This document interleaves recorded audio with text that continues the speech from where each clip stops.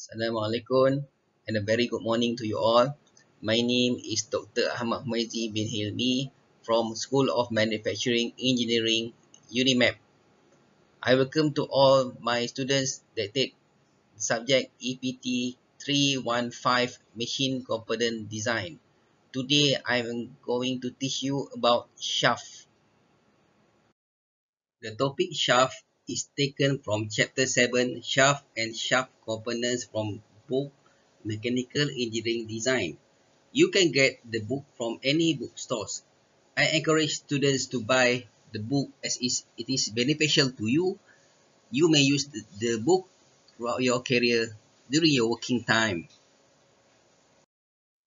Now students, the definition of a shaft is as follows.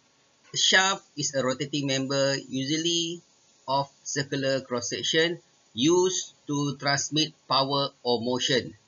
You can see in the picture here, picture here, the shaft is cylindrical and have an axis of rotation.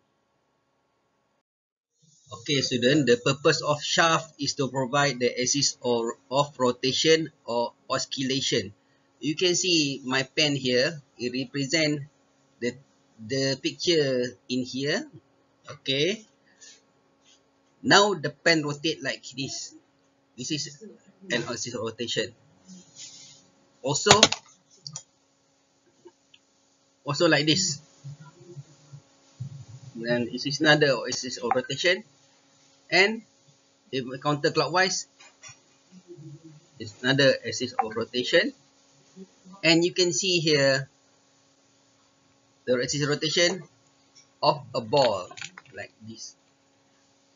Like I'm moving the ball now. It's an, it's an axis of rotation. Also you can find the axis of rotation for a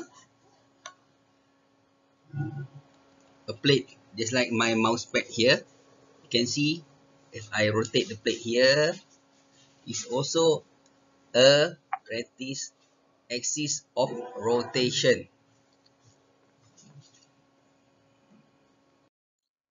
Yes, student, you can see here that shaft is applied to many things. This is a gear you have learned before. The gear has a shaft. This is a crankshaft. This is a pulley with a shaft in it. This is a flywheel. It also uses shaft. This is a sprocket that uses shaft. You can see this is why shaft are important because many things uses shaft. Okay students, you can see here is an axle. What is an axle? An axle is a non-rotating member that carries no torque and used to support rotating wheels, pulley, and like axle is not moving. Exactly it's not rotating. You can see axle here when the the mechanism that rotates which rotate. The axle is not rotate. But it rather is support uh, the structure to be uh, to not become rotating. Okay? You can find axle in cars. Okay? You can find the most related to you that you have seen before throughout your life is in a car. Whether it is a toy car or a real car. Okay students, you can see here is an automotive axle. Automotive axle is not a true axle but the term is a carryover from the horse and buggy era where the wheels are rotated on non-rotating members. What does it mean?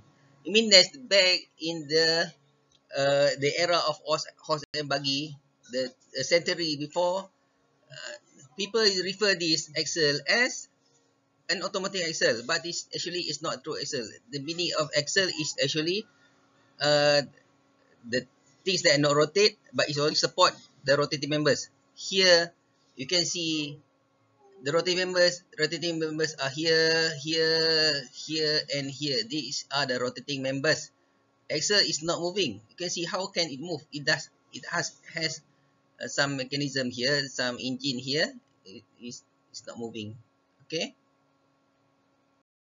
Okay, students, this is an uh, also a definition of axle. It is a non-rotating machine element that used to support rotating machine elements like wheels, pulley, and etc. Just like I have explained to you in the previous slide. Topics to cover in shaft. Now here are the topics that I will cover in the shaft. There are material selection, geometric layout, stress and strength, fatigue strength, static strength, deflection and rigidity, bending deflection, torsional deflection, slope at bearing and shaft supported element, shear deflection due to transverse loading of short shaft, and lastly is the vibration due to natural frequency. Okay, see you in the next video.